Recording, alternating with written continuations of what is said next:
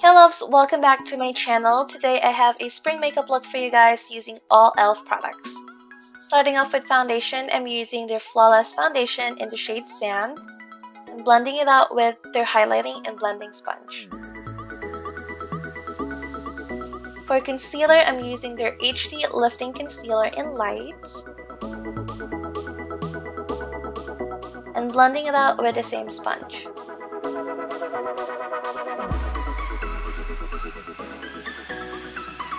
To set everything, I'm using their HD powder in soft luminance with their pointed powder brush.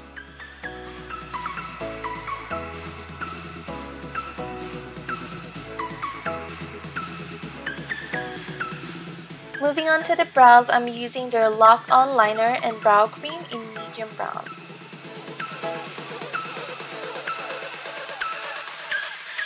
For eyeshadow, I'm using the concealer as a primer.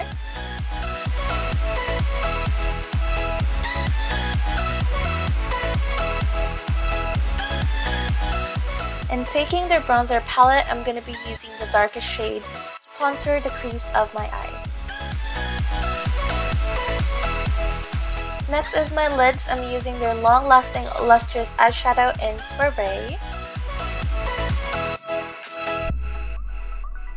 And to give it a pop of color, I'm using their cream eyeliner in Teal Tease.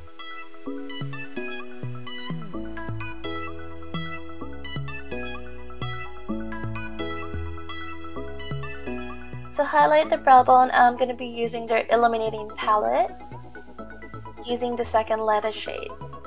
And for my lashes, I'm using their Lengthening and Volumizing Mascara in black.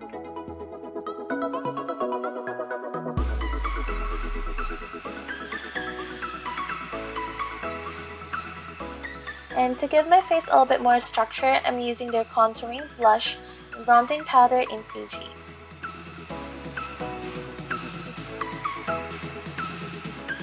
And for highlight, I'm using the same illuminating palette with the second lighter shade.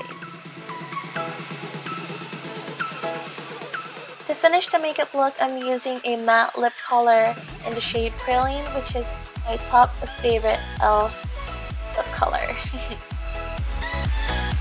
I really think this lip color tones down the look a bit more as that could be wearable on the daytime as well.